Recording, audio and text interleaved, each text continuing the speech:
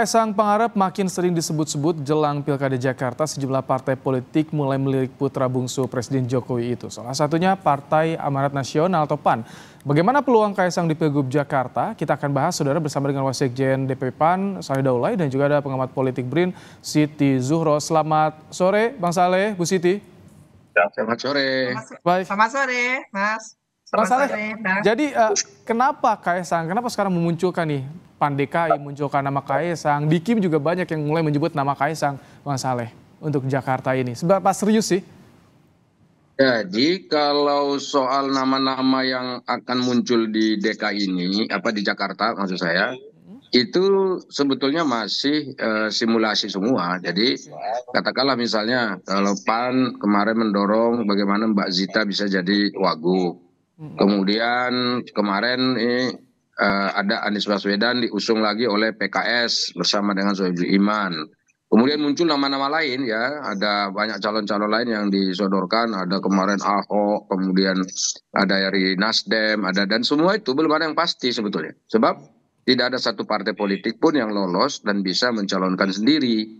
Dan karena itu, kalaupun misalnya seperti Pak Anies Baswedan itu didorong oleh PKS, hmm. belum tentu bisa karena kurang kursinya empat. Yeah. Jadi karena itu ini juga masih simulasi. Hmm. Nah sama dengan PAN, ketika misalnya ada yang mendorongkan ya sudah ini ada Kaisang, gimana kalau digabung dengan Zita Anjani dan seterusnya karena ini merepresentasikan kalangan muda. Okay. Nah, saya kira ini juga sah-sah saja dan boleh-boleh saja kita lihat dulu reaksi dari masyarakat. Nah, kalau misalnya kita tidak dorong seperti itu kemarin, jangan-jangan Kompas nggak membahas nih gitu. Justru karena. Tapi ini murni ya, kalau keinginan dari PAN sendiri menduetkan Zita dan juga Kaisang.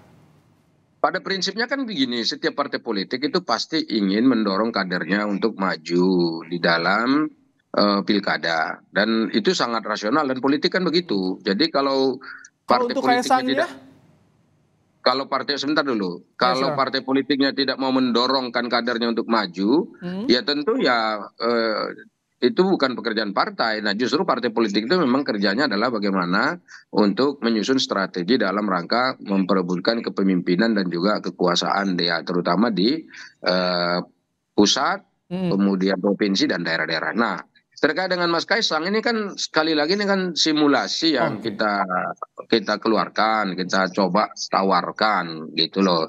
Jadi sekarang tinggal masyarakat nih silakan menilai apakah misalnya pasangan ini nilai cocok, layak dan seterusnya. Nanti kan kita akan evaluasi juga. Okay. Dan ini sekali lagi ini belum final. Baik. Jadi uh, ini hal-hal yang sangat apa namanya? hal-hal yang sangat wajar ya kalau PAN misalnya sebagai kontestan di dalam pilkada okay. pilkada Jakarta ini mengusung nama dari partai yang uh, ada. Baik, Bu Siti, apa yang ya. Anda baca dari munculnya ini sekarang mulai di partai Kim mulai muncul nih ada nama Kaisang dari beberapa partai di Kim ini. Apa yang Anda baca dari fenomena ini? Apakah memang penilainya bagus bagi Kaisang ini atau apa yang ya. disasar sebetulnya? Iya, ini memang menarik ya menurut saya apa yang dikatakan uh, Bang Saleh Daulay tadi itu benar, jamak iya. saja karena masih di tataran uh, simulasi, di tataran testing the water juga. Jadi di internal mencari masing-masing terutama dari partai ini ya Kim ya eh, koalisi Indonesia Maju itu berusaha yang lalu kita mendengarkan dari Gerindra gitu sayup-sayup sampai tentang kader Gerindra dengan Kaisang. Sekarang PAN gitu ya. Kadernya kader PAN juga dipasangkan dengan Kaisang gitu ya. Nanti uh, muncul lagi dari Golkar bisa jadi Ridwan Kamil dengan Kaisang. Jadi kata kuncinya ada Kaisang terus gitu. Hmm. Kelihatannya Kenapa? Kenapa? Ini arahnya ke mana kalau menurut Anda Bu Siti? Iya, ya memang tidak tertutup kemungkinan karena ada keterkaitan yang kuat ketika setelah segera setelah. Mahkamah Agung ya memutuskan adanya perubahan dalam uh, persyaratan umur dari pencalonan ke pelantikan itu lalu ada kemungkinan peluang besar bagi uh, Kaisang untuk mencalonkan diri dan apalagi diikuti oleh statement-statement uh, dari kader uh, PSI dalam hal ini yang hmm. mengatakan bahwa tidak tertutup kemungkinan nanti akan ada kejutan-kejutan dari PSI. Okay. Ya. Nah, keju kejutannya apa? Oh, tidak ternyata tidak cawagup tapi cagup kan gitu. Bisa juga seperti itu atau tetap cawagup kan gitu. Nah, ini yang mungkin Oh, perlu Oke. diantisipasi. Kalau saya lebih tertarik untuk mengatakan bahwa siapa pun yang muncul Mhm. harus ada eh, koridor, harus ada parameter, kriteria yang sangat Oke. jelas. Karena ini akan memimpin daerah khusus. Jakarta Kriteria yang apa? sudah diperuntukkan untuk daerah glo apa Oke. eh, kota glo- global itu. ya. Kriteria apa sebetulnya yang dimiliki oleh Kaisang sehingga bisa dilirik juga nih oleh PAN munculkan di simulasi untuk Pilkada Jakarta dan apa proyeksinya Cagup atau Cawagup? Nanti kita akan bahas usai jeda ya, Mas Saleh, Bu Siti, tetap bersama kami di Kompas Petang.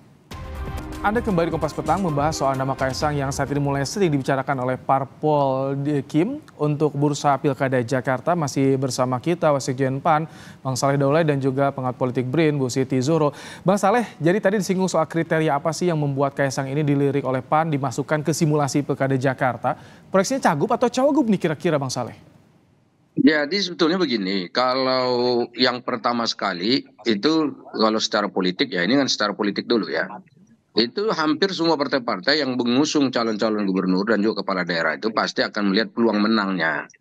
Jadi ini menang dulu nih, ya kan? Jadi kita lihat bahwa eh, Kaisang ini saya kira eh, ada sebetulnya peluang menang yang eh, besar gitu, terutama di Jakarta karena PSI itu punya eh, kekuatan di Jakarta ini sudah terbukti ya pemilu-pemilu yang sebelumnya ini kan kelihatan mereka juga bisa eh, menghasilkan suara yang banyak gitu. Oke.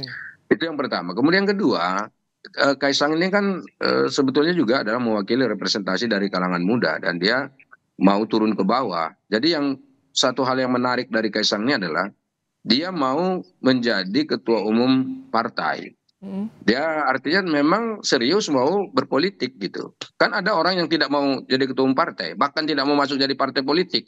Hmm. Tapi setiap ada pilpres ingin maju, ada pilkada gubernur ingin ikut lagi gitu kan. Tapi masuk partainya enggak gitu. Nah kalau Kaisang ini kan memang mau Hmm. ya kan, mau masuk di situ. Jadi saya kira itu juga bagian dari keseriusan dari Kaisang untuk menjadi politisi. Dan kemudian yang berikutnya.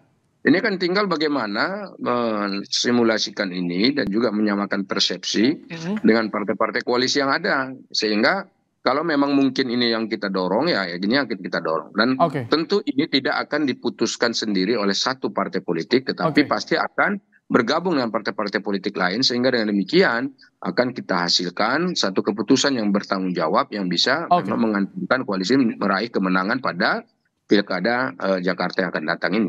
Oke, Bu Siti, dengan ini mulai banyak yang muncul nama Kaisang eh, di Pilkada Jakarta. Apakah bisa menggambarkan ini masih ada eh, pengaruh atau faktor Jokowi effect di sini di Pilkada Jakarta ini, Bu Siti? Atau bagaimana nanti persepsi publik soal ini? Iya, eh, Jakarta ini kalau dari perspektif otonomi daerah ini kan daerahnya berhimpit ya dengan pemerintah nasional. Jadi provinsi Jakarta berhimpit dengan pemerintah eh, pusat ya. Dalam eh, posisi yang sangat berhimpit dan pengaruh eh, tentu gitu ya, RI 1 gitu, itu memang bisa dikatakan sangat kuat, sangat besar.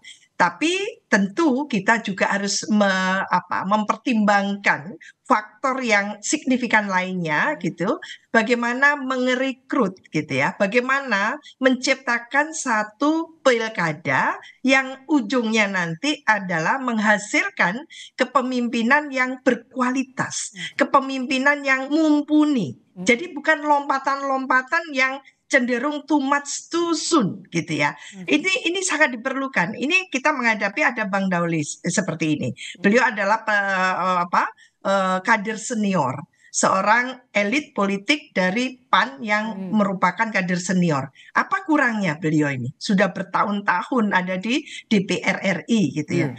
Ini mestinya yang dicalonkan. Jadi lompatannya itu jelas, eh, sekuen bagaimana meniti karir itu jelas.